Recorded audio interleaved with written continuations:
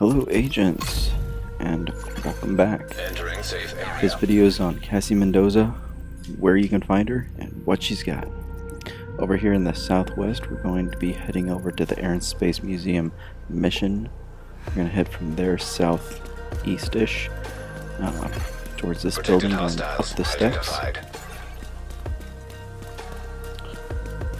Once we get inside, we're going to head left. I'm going to go ahead and twirl around here because I don't know where I'm going. Oh, wait, there we go. Uh, down the steps. And mind you, you still have to find the snitch to be able to, to get her. So through the door here on the right, head down left. Yeah, and if you didn't get the, the snitch, you're not going to be able to find her here. Alright, so she has the new reliable light machine gun, the Alps Summit Armament. Not bad there, but the skill is pretty high. The Shield Splinter, if you have that opened up, and the Hunter Killer, um, not bad. If you have that unlocked. The Striker's Battle Gear, it's got a rigger here, not great, but you can replace pieces. Hunter's Fury, mm, not terrible, but once again, not too bad.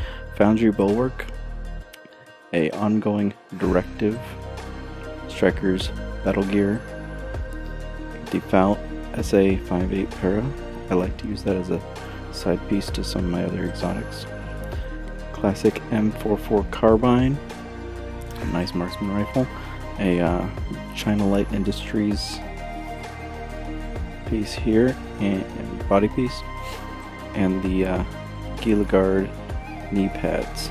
Then we move on to the Defense Protocol Resilience that's got armor on kill, the carbon fiber frame, scan range.